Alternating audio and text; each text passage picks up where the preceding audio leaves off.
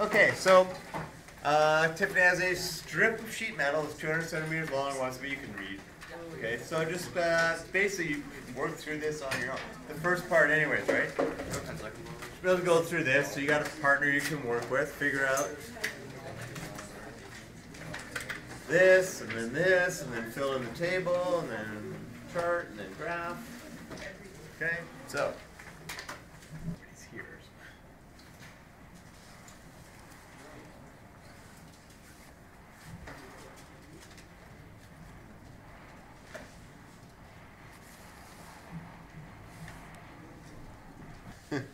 So, the independent independent variable is the variable for which you choose the values. Dependent variables are the values that depend on what you have chosen for the independent variable. So in this case, which one is the independent variable? The width. Right. So we're gonna choose different values for the width and then see what happens to the area based upon that. Yes. Could it not be length? It could not be length. No, it could be yes, it could be length. Could it be area? Um, and the dependent variables are? Area. Now I'm going to say length and area because I think we had to figure out length first. Okay. So the length depends on, yeah, it could legitimately also be length that you choose and then the width and the area would be the dependent variables. On the grid above, use values for width and area to draw. Okay, we did that. What is the name of this curve? Parabola. It's a hill. We're not going to call it peaches. So we'll call it parabola. Beaches is a mammoth. Um, the domain of relation is the set of all possible values of the independent variable. What is the domain of this relation? X belongs to Venus. Zero to a hundred. Insanity. So it's a set of all w's. It looks like a face. It looks like a face. Are you going to do this on every test like that? Okay. So the domain is set of all w's such that w is between 0 and 100 and w belongs to the reals. Why can't it be? Okay. And at times we can leave off the w belongs to the reals. It's almost implied by saying it's between 0 and 100, right? It has to be all real numbers. Uh, the range is the set of all possible values of the dependent variable. What is the range? If you're below Zero to twenty-five hundred. zero.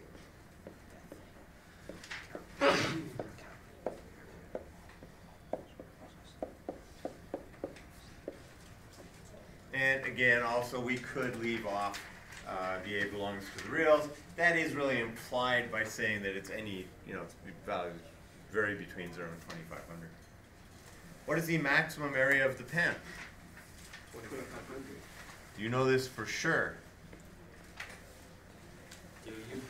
It is the peak.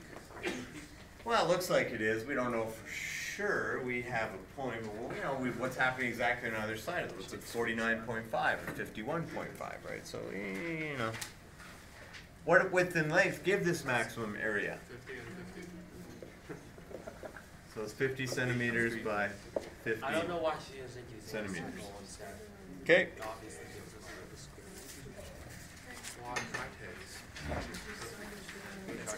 Which part of the graph did you use to determine the maximum area? Peaches had nothing to do with it. Insanity with students. The highest. Yeah, what's a special name for the highest point of this parabola? The vertex. Look down. This place where you looked at. Yeah, that's what I said. Oh, it's just on the next Vertex is a local maximum, but it is also an absolute maximum, right? So it's a local and absolute maximum. Is that massive? The vertex of a parabolic curve is the exact point where the curve changes direction. What are the coordinates of the vertex for this curve? Uh, fifty and twenty-five. Yeah, so 50, 2500. How does the vertex relate to the maximum area and the width that gives the maximum area? Uh. The vertex is the vertex is the maximum area. Let's be a little more specific. Coordinate. X coordinate vertex. I'm starting you off. You get to fill in the rest. The x coordinate What is Of yeah, the it's sea. square root. of the vertex. It's a square root vertex. Is it Y square? coordinate? Are you just guessing now? Oh. You know fifty's not oh. fifty. The x coordinate. Okay. How does the vertex? So let's read this before we answer. How does the vertex relate to the maximum area and the width that gives the maximum area? The x coordinate of the vertex is no. Oh, two L plus. The x coordinate of the vertex is The same. Square root is the y coordinate? Square root of the maximum area. Is the maximum area of the. the x coordinate of the vertex is it the maximum area? It's the west. No. It's the width. Read the question. How does the vertex relate to the maximum area and the width? The x coordinate of the vertex is the width. The y coordinate of the vertex is the. Not width. Thank you. Oh, okay.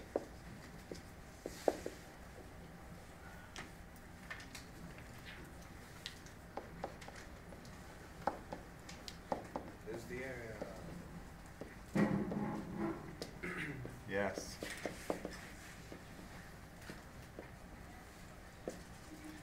The coordinate of the vertex is the width that gives you the maximum area. The y coordinate of the vertex is. The, the length. The y coordinate of the vertex is the area that gives you the maximum width. Is the maximum area that gives you. I don't know. Y coordinate of the vertex of the vertex is. Maximum area. Thank you. I'll try and make it more difficult because it isn't difficult. Go closer to the strength man. Okay. So we have Go closer to the world, inspire the world, fast backwards. we have a coordinate, which is the coordinate of the vertex. And what does the vertex mean? It's this is the width and this is the maximum area, right? Because you're going to be relating coordinates of vertices, which is the plural of vertex, to the situation that's being described, right? And so you need to do it in those terms. We're all doomed. What is the minimum area of the pen, and what width and length give the minimum area?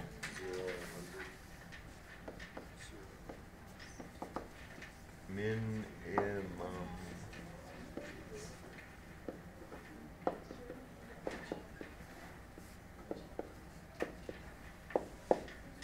So the minimum area is zero centimeters squared. What width and length?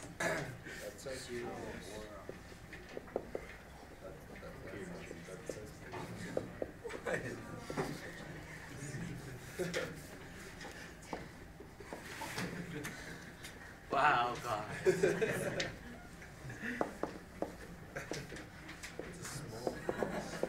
wow. Okay.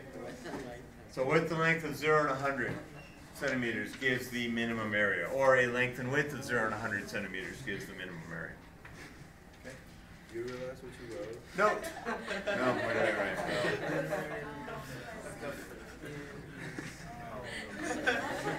How oh, did you know? Sorry, I don't have a dirty mind like you. Yeah. Well, everybody else I read saw pen is. Oh. Mightier than the sword. Sam gets to like three hours. That's a really small pen. Uh, I have a feeling this note video is not that the curve is symmetrical with respect to a vertical line. Is it spring break yet? No, it's no, no, the axis. Called the axis of symmetry. Draw the axis of symmetry on the graph in question three. And what is the equation of the axis for the graph of symmetry? So what x equals first side, cryon, nanovirus, bio. So where do I draw the axis of symmetry? X equals fifty. Okay, yeah. So Oh, damn. axis of symmetry passes through the vertex, right? Because we are symmetrical, or the graph is symmetrical with respect to a line passing through the vertex, right? As one half could be folded on top of the other half, or vice versa. And what is the equation? As I said, x is equal to 50, right? So x is equal to the x coordinate of the vertex. use the graph in question three, so we're using the graph to estimate the area when the width is 25. And uh, what else? 45. So just get those both. So, that-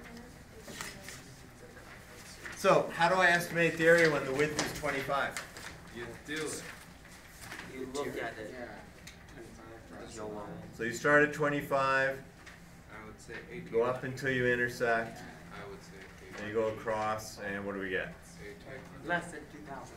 I think it's eighteen. I think it's 1800. I get eighteen hundred. Eighteen hundred or nineteen?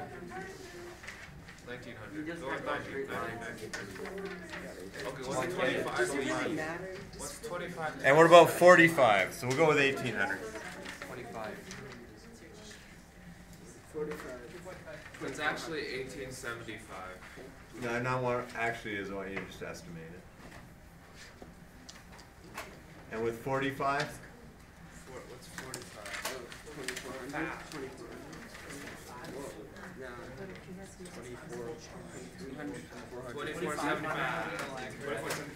Not what it is, estimate it. Look on the graph. Twenty. 2450? Thank you. Okay, so what do we say? 1800? Disease name. Bacon. Use the graph in question three to estimate the width when the area is 2100. Okay, so estimate the width. Uh, yeah, the width when the area is 2100. What do we get? Or the what answer?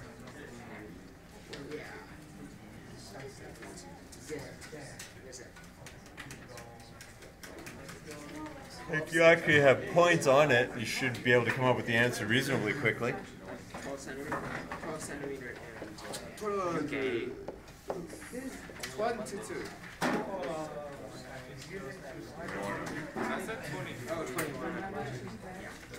Okay, what about 2275? Okay, twenty-two.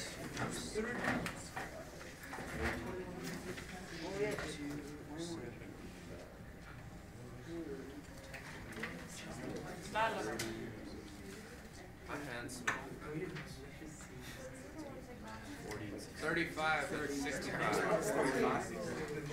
Thirty-five and sixty-five. Thirty-five and sixty-five. See, I did that without even reading it. Be ashamed. Okay, so estimating off the graph, we may or may not be accurate. Depends on how well we've drawn it, or how well it's drawn if it's a graph that's given to us. Oh, so we can use technology to help us graph these things. Calculator needs to be able to graph relations. It needs to see an equation that uses x and y as variables. So we have to rewrite a equals L times W as y equals So we need a formula now in the form y equals. To do that, if the perimeter of the pen is 200 centimeters and x represents the width and L represents the length, write an equation for length in terms of x. So if we go back to our original, right, we're going to say that 2L plus 2x equals 200. Well, what is that? And we want to isolate L, so how are we going to do that?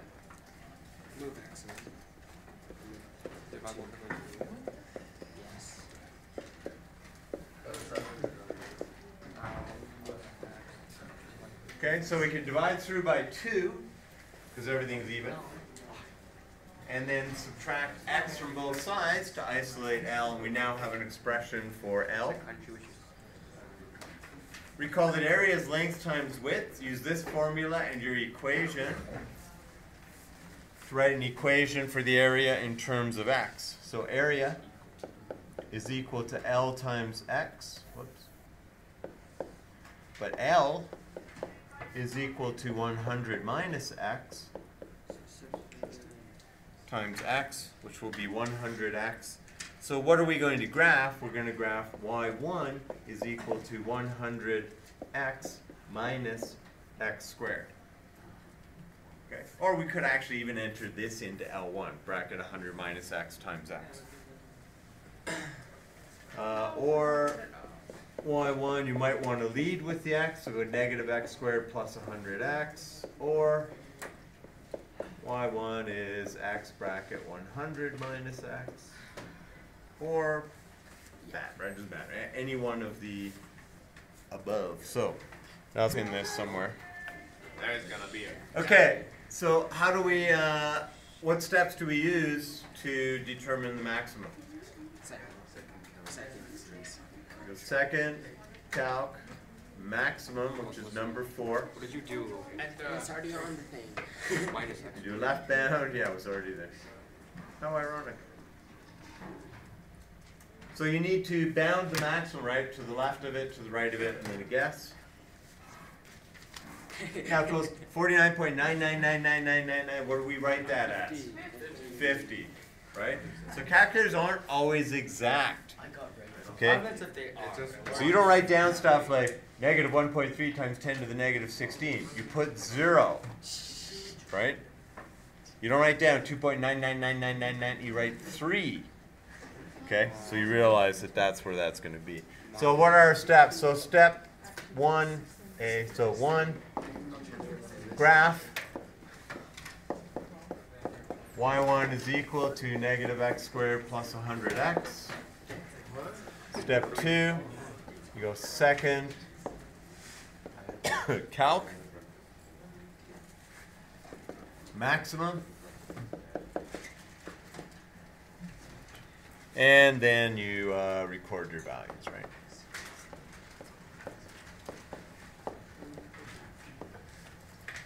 So we get a maximum area of 2,500 and the corresponding width of 2,500 square centimeters, or centimeters square, and the width of 50 centimeters. You can use the table function on your calculator. Okay, so if I just go second function graph, we're going to see the table. Right? We can change how the table, how we view the table. So let's just move this down. You can use table function on your calculator. You could change uh, how, if we want to see the widths by 5 or by 10. So in this case, we're looking for 5. So you go second window, table set. This allows you to start your table anywhere, right? So if you know you're looking in the table for an answer and you know it's above 100 or something, you could start your table at 100 and not have to hit down arrow 100 times, right? Delta table, that's the change in the table. So every amount is going to change by 5. And then we go second table. So now instead of going 0, 1, 2, 3, it's 0, 5, 10, 15, 20. Okay, and you can scroll through. So use the table to determine the width. When the table is, when the, uh, sorry, when the width is 25, the area is 1875 centimeters squared. When the table is 45, come on back.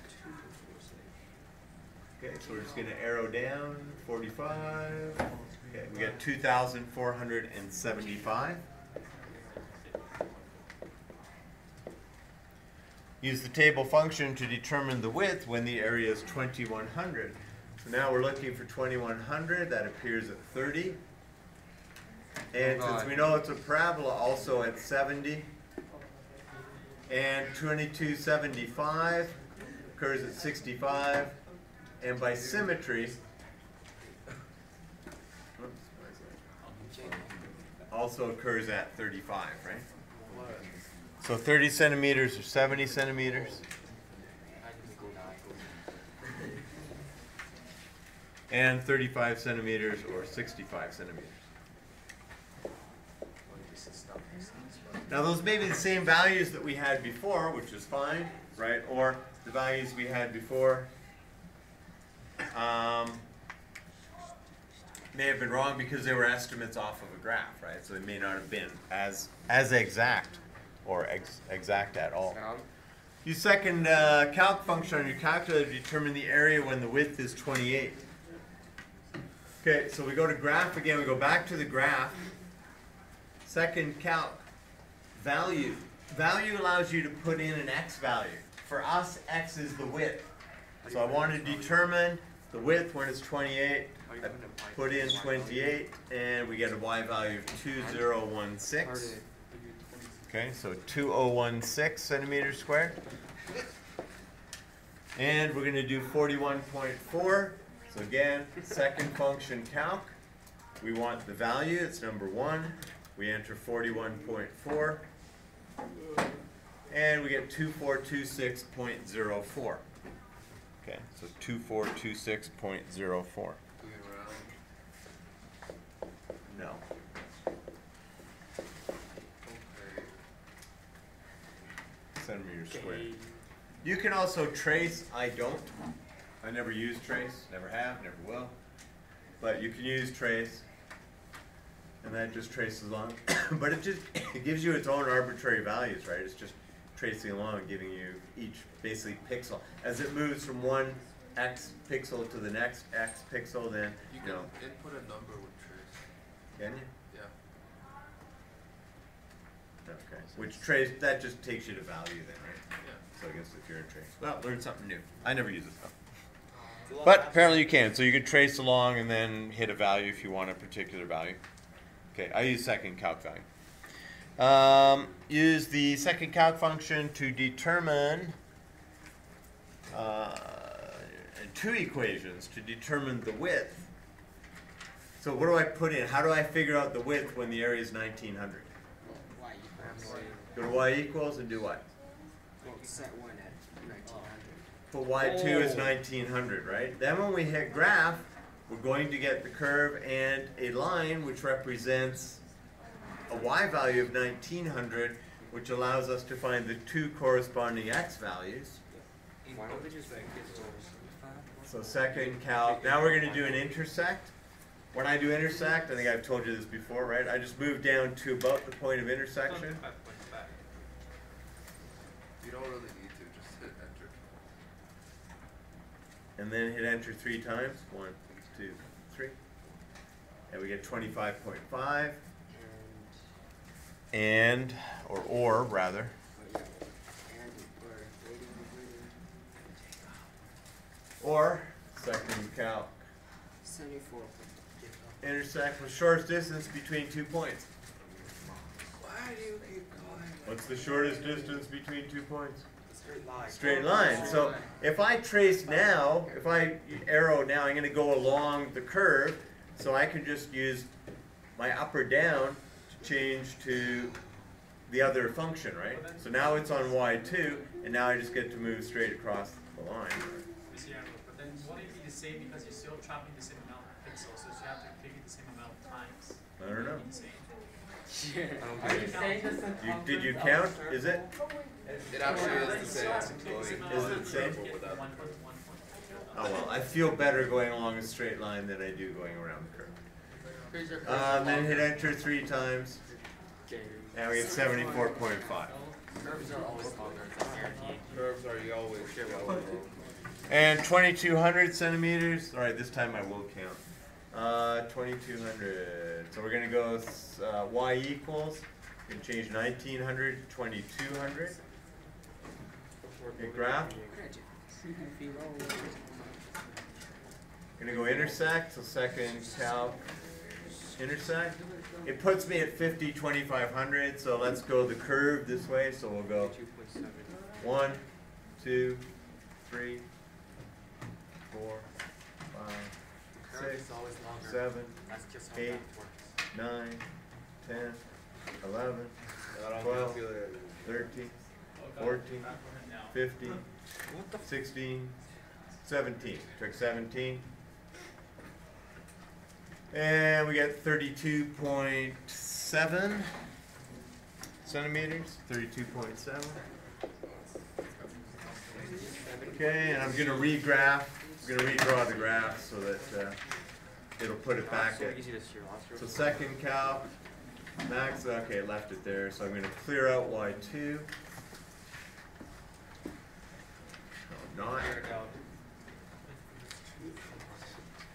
damn it, quit giving me, You don't even need to go all the way, just go past half and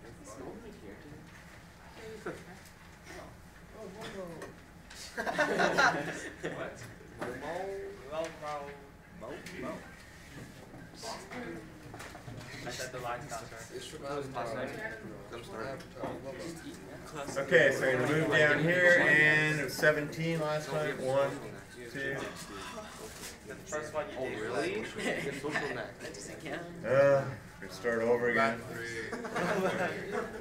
Are you saying it takes as many counts? Okay, yeah, so one, two, three, four, five, six, seven, eight, nine, ten, eleven, Why is he counting? twelve, thirteen, fourteen, fifteen, I'd say fifteen, maybe sixteen if we go. The go. line's always So- faster. It's like how math works. The line is faster. By one pixel.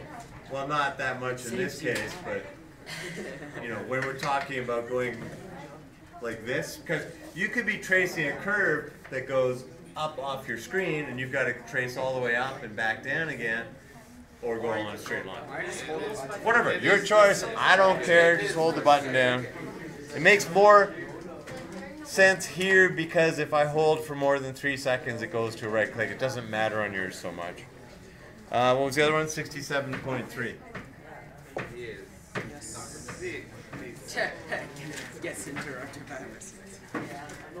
Have to wait it out. Somehow I wrote seventy-seven. Okay, Yes, we're finished. what's next? Oh, no. Wait, do we have to do We're doing two and one. What? What?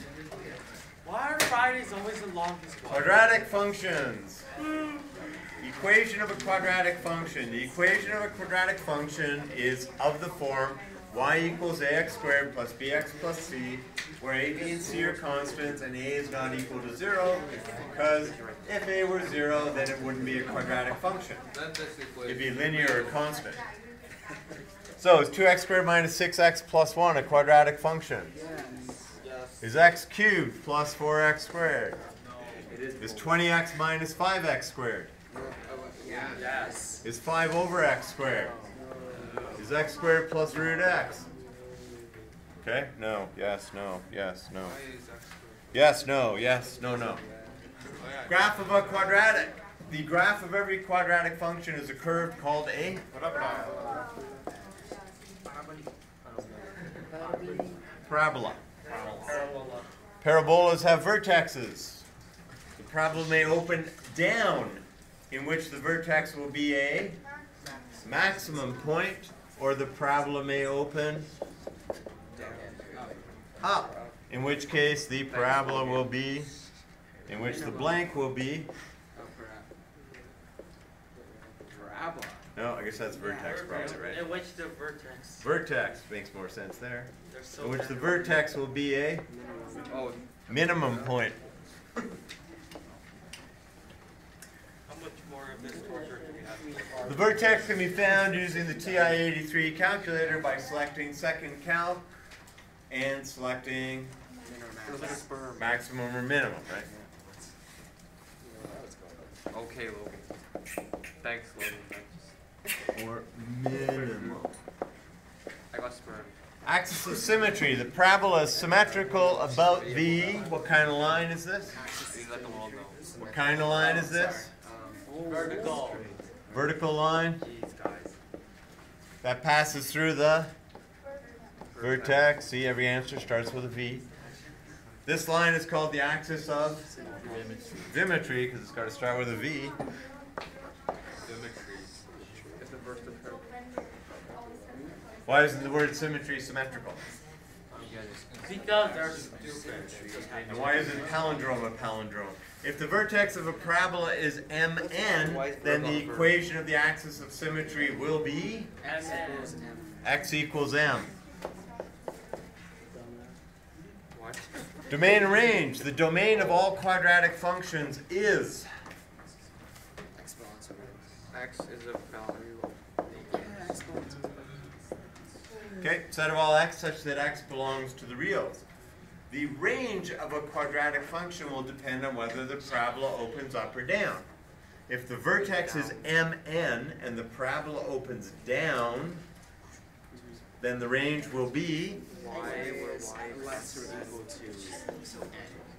less than or equal to N. Yeah, set of all y such that y is less than or equal to n. If the vertex of the parabola is m and it opens up, then the range will be Greater or equal to. y is greater than or equal to n. Y intercept. What you have to write is real number. Well, The y-intercept is the y-coordinate of the point where the graph intersects the X. x-axis. Y-axis. yeah, What Y are we talking axis. What? You said x. At this point, you said x. You want me to replay this? At this point, the value of the x-coordinate is always. Zero. Want to bet? Yeah, I don't want to. The y. Look where the mic's pointing. It's gonna pick you up more than me almost. The y-intercept can be found using the TI-83 calculator by selecting second calc value and then typing x equals Zero. zero. Like Karmar. If the equation of a quadratic function is y equals ax squared plus bx plus c, the y-intercept is equal to c. The x-intercept is the x-coordinate of the points where the graph intersects the X axis. At these points, or point, or nothing, the value of the y-coordinate is always Zero. zero. The x-intercepts are also called the zeros of the function. Oh. The x-intercepts can be calculated using the TI-83 calculator by doing second calc zero. Another better way, to me anyways, because I'd rather do an intersect than a zero, because you just move to the point. With, a zero, you got to do left bound, right bound, and guess, is to select y2 equals zero, and then do second calc intersect, right? I prefer that, doesn't matter though, you do what you want. Doesn't intersect the same. Examples. For each of the functions, determine the following round answers to the nearest hundredth if necessary. I think really it should say state the following, right? We're not really determining.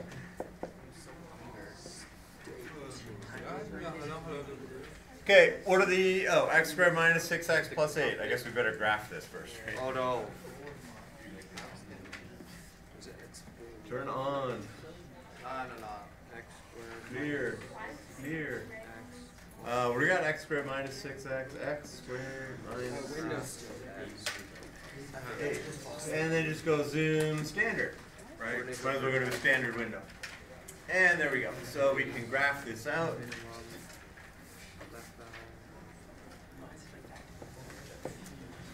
Okay, what are the coordinates of the vertex? Three. Three negative one. Negative one, three. Or, yeah, three negative one. Three negative one. 3, negative 1. What's the equation of the axis of symmetry? X equals X equals. x equals 3. Make sure you write it as x equals. Don't just write down 3. Okay, it has to be an equation, so it's got to be x equals 3. So domain. X belongs to the reals. What's the range? Y has to be Y is greater or equal to. Y is negative. y is greater than or equal to minus 1. What are the x-intercepts? Oh my god, I actually right. 2 and 4. What is the y-intercept? 8. Okay. Let's do the next one. Negative 5x squared plus 8x plus 15. Uh, let's put in a negative 5x squared plus plus 8x plus 15. Graph. Okay, so I'm not seeing the whole thing. I need to adjust my window. Points of interest to me are the x-intercepts, which don't look like they're nice. Well, maybe one is, but the other one isn't. I don't know. It's hard to tell. What are the possible rational zeros for this? All perfect factors. Negative eight. Plus or minus 1, plus or minus 3, plus or minus 5, plus or minus 15, plus or minus 1 fifth, plus or minus 3 fifths, plus or minus 1 again, no, and then again. Okay, that should do it. Make sure you can list all of those on Tuesday, right? Got a test coming. I'll just write it down. Not easy, long test. I wrote it. It was a long time. Long test. Long test. Specialized. So let's go. Uh, what do you got? One, It two, just means three. it's a lot longer. So I'm going to adjust my window based on the fact that it goes from about negative 1 to 3. So I'm going to say let's go negative 5 to 5. So we tighten in a bit. And my y min is fine at negative 10, and my y max I'm going to give 20 a try. And that appears to be pretty decent, right? Not good. Okay, so we now want to find the coordinate of the vertex, which is, have you found it? Second calc. Okay, 0.8 and 18.2.